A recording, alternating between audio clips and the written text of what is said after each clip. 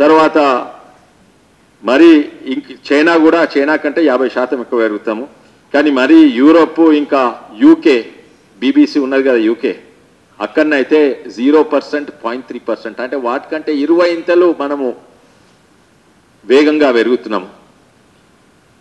మీరు చూడండి ఇన్నేళ్ళల్లా ఏడెనిమిదేళ్ళల్లా వరల్డ్లో పదో ఎకానమీ ఉండే. అంటే తొమ్మిది దేశాలు మనకంటే ముందు ఉండే ఇప్పుడు ఆల్రెడీ మనము ఐదో ఎకానమీ అయినాం. అంటే ఐదు దేశాలను ఓవర్టేక్ చేసి స్థాయికి చేరినాము. కానీ ఈ స్థాయి కాదు ఇండియా అట్ హండ్రెడ్ అది రేపటి ఎలక్షన్స్ కొరకు మేము పనిచేస్తలేము. ఎల్లుండి ఎల్లుండి పార్లమెంట్ ఎలక్షన్స్ కొరకు పనిచేస్తాం. మేము పనిచేసేది ఇండియా అట్ హండ్రెడ్కు అండ్ ఇప్పుడు ఎక్కడున్నాము? అమృత్ కాళ్ళు ఉన్నాము. అంటే ఇండియా అట్ సెవెంటీ ఫైవ్ ఇప్పుడు ఫిఫ్త్ టెన్త్ నుంచి ఫిఫ్త్కి వచ్చినాము. ఇంకా ఐదేళ్ళ లోపట్నే ఫోర్త్ థర్డ్ అంటే జర్మనీని జపాన్ ఓవర్టేక్ చేస్తే మన ముంగట రెండే ఉంటాయి.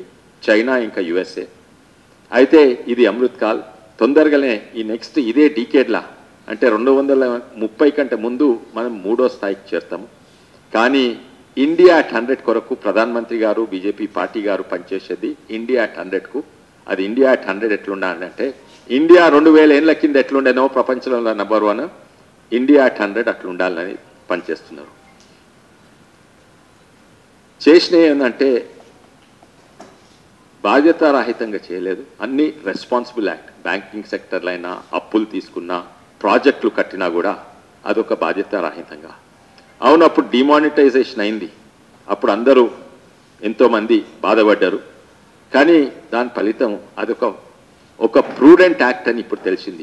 బ్యాంకింగ్ సెక్టర్ ఎన్పిఏలు దాచిపెట్టినరు క్రెడిట్ ఫేజ్ ఉంటుంది. క్రెడిట్ సైకిల్స్ ఉంటాయి. అంటే అప్పులు తీసుకుంటారు కంపెనీలు గవర్నమెంట్లు అప్పులు ఎక్కువ తీసుకుంటారు. అది టూ థౌజండ్ ఫోర్టీన్ వరకు ఆ క్రెడిట్ సైకిల్ ఎక్కువైంది. ఇప్పుడు అప్పులు కట్టే టైం అయింది.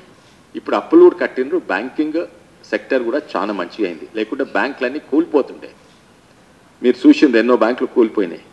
అయితే ఎందుకంటే ఎన్పిఏలను ఎన్పిఏగా గ్రహించిండ్రు అగ్రి చేసిండ్రు. లేకుంటే నాన్ పర్ఫార్మింగ్ యాసెట్స్ అంటే అప్పులు ఎవరు వాపస్ కట్టరు. వాటిని కూడా బ్యాలెన్స్ షీట్లో చూపెడుతుండ్రు. ఆ పైసలు ఎప్పుడు వాపస్ రావు. కానీ గ్రహించిండ్రు అది అడ్మిట్ చేసిండ్రు. అయితే ఈ ఫైనాన్షియలీ రెస్పాన్సిబుల్గా ఉండి ముందుకు నడిపిండ్రు.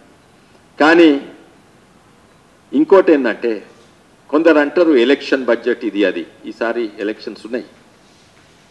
కానీ ఎలక్షన్స్ కాదు ఏది కాదు మాకు చూసేది ఇండియా అట్ హండ్రెడే దృష్టిలో పెట్టుకొని ఈ ప్రభుత్వం పనిచేస్తున్నది. అయితే దీనికి నెక్స్ట్ ఇయర్ ఇంకా ఎక్కువ గ్రోత్ ఉంటుంది కానీ ఇది కాక పది లక్షల కోట్లు ఇన్ఫ్రాకేస్తే అది ఎకానమీకే బూస్ట్ బూస్ట్ అవుతుంది అందుకే ఈసారి ముప్పై శాతం ఎక్కువ చేసి పది లక్షల కోట్లు ఇన్ఫ్రాస్ట్రక్చర్ కడుతుంది. ఇన్ఫ్రాస్ట్రక్చర్ అంటే కాళేశ్వరంలో కాదు. ఇన్ఫ్రాస్ట్రక్చర్లు అంటే మిషన్ కమిషన్లు కాదు. మీరు చూసిండ్రు. ఇన్ఫ్రాస్ట్రక్చర్లు అంటే హైవేలు. ఇంకొక ఇన్ఫ్రాస్ట్రక్చర్ అది అద్భుత ప్రపంచంలోనే అద్భుతమైంది. ఇది సోలార్ ఎనర్జీ ఇది పదమూడు గిగావాట్స్ అంటే పదమూడు వేల మెగావాట్స్ ప్రాజెక్ట్ దాని కొరకు కేటాయించిండ్రు. సోలార్ ఎనర్జీ ఒక ప్యానెల్ సోలార్ ఎనర్జీ ఇక్కడ హైదరాబాద్లో పెడితే ఒక యూనిట్ దినానికి ఒక యూనిట్లో రెండు యూనిట్లో ఉత్పత్తి అవుతుంది. అదే ప్యానెల్ తీసుకొని లద్దాఖ్లో పెడితే అదే ప్యానెల్ ఏడు పది యూనిట్ల వరకు ఉత్పత్తి అవుతుంది. ఎందుకంటే లద్దాఖ్లో మేఘాలు ఉండయి వానకాలం ఉండదు గాలిలో దుమ్ము ఉండదు అన్నిట్లో highest solar radiation irradiation in the world లద్దాఖ్లో. ఇక్కడ అదే ప్యానెల్ పెడితే ఒక రూపాయి వస్తే అక్కడ పెడితే ఏడు రూపాయలు వస్తుంది. ఇది అన్ని ప్రధానమంత్రి గ్రహించి అక్కడ పదమూడు వేల కోట్ల కోట్ల సోలార్ ప్రాజెక్ట్ ప్లాన్ చేస్తున్నారు ఈ బడ్జెట్లో. దానికి కూడా బడ్జెట్ కేటాయించింది అదే కాక దాని పాలసీ కూడా అద్భుతంగా ఉంది. అంటే తెలంగాణ కొన్ని రాష్ట్రాలలో ఎక్కువ సోలార్ ఉండదు. కానీ మనం కూడా పోయి అక్కడ పెట్టవచ్చు అది తెలంగాణ ప్రాజెక్ట్ అవుతుంది కానీ ఆ ప్యానెల్స్ అక్కడ ఉంటాయి. ఏ రాష్ట్రం కూడా పోయి అక్కడ పెట్టవచ్చు సో ఉత్త బడ్జెట్ ప్రాజెక్ట్ టెక్నాలజీ కాక పాలసీ కూడా బ్యాకింగ్ ఉంది. అందుకే దీన్ని budget with a purpose and commitment అని అంటారు.